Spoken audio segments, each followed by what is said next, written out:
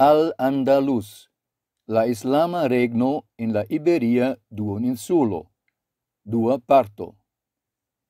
En citiu dua texto pri Al-Andalus, mi comenzas resumon pri la historio de la estado de la islamanoi en Iberio post ilia conquero de la duon insulo.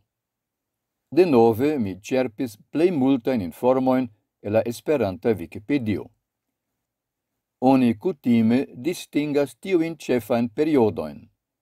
La regno de la Umaidae valioi, wali, au provinz estroi, 701 gis 756, la Umaida emiruio, 756 gis 929, la Umaida califuio de Cordovo, 929 gis 1009, la unuae taifo regnoi, 1009 gis 1086, la Almoravida regno cae la duae taifo regnoi, 1086 gis 1147, la Almohada regno, 1140 gis 1212, la Nasrida sultanujo de Granado, 1231 gis 1492. Tiu listo ja montras che ne existis ununura unuiginta islama regno in tiu regiono, sed plurai el ili. Fakte ocasis multa disputoi inter la islamanoi. Pliain, quancam malmultain detaloin, mi donus in posta video. Hodiau mi clarigos nur la signifon, laula esperanta Wikipedia, de la suprae arab devenae vortoi umayidoi. La umayadoi, ancau umayidoi, au omayadoi, estis regia familio de la araba popolo, quiu regis unue in la umayida califlando, in oriento, con chef urbo in Damasco, cae poste in la califlando de Cordovo, in Al-Andalus. Valioi, comparu la articolon Valioi in la Esperanta Wikipedia, signifas gardisto, protectanto, helpanto. Tamen, in citiu contexto, temas, cil dirite, pri provinz estroi, ec estroi de malgrandae regionoi.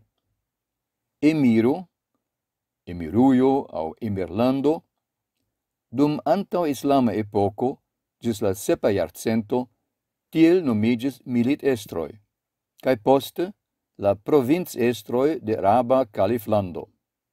En la caso de la menciita la emiro esis la estro de la tuta islama regno in Iberio. Califo, califuio au califlando, califo au jalifo estis la religia cae politica postiulo de Mohamedo. Li regas la landaron de Islamo kiel unu imperio nomata califlando. Califoi logis in Damasco, poste Bagdado, Cordovo, Cairo. Taifo. La Taifoi esis gis tridec nau etai reglandoi, in cui dividigis la Califlando de Cordovo post la aboligado de la Califlando in 1031. Almoravidoi. La Almoravidoi estis berbera dinastio in Mauritanio, Marocco, Algerio cae Al-Andalus in la tempo de 1046 gis 1147. La dinastio de Almoravidoi defendis fundamentisman interpretadon de Islamo cae danke al sia rigoro unuigis sub gia hegemonio grandain etendoin en la occidento de la islama mondo. Tie ili formis imperion inter la decunua cae decdua iarcentoi, kiu etendigis cefe tra la territorioi kie nun estas Mauritanio, Occidenta Saharo, de kie ili devenis, Marocco cae tra la suda duono de Iberio. Almohadoi La almohadoi estis movado cae popolo kiu devenis el Marocco cae fondis in Iberio dum la dectua iarcento la almohadan imperion. Tiu imperio ec estis kiel reago alla religia malprigravigio de la tiamae almoravidoi, qui regis Magrebon, sed mal successis in sia clopodo revigligi la islamen statoin, ca ancao ne successis haltigi la antoeniron de la cristanae statoi in Iberio. Nasridoi La Nasrida sultanlando de Granado estis fondita de viro, kiu appartenis alla nasridoi, arab de vena etno, cae kio declaris sin sultano in 1232. Sultano, sultanuio au sultanlando.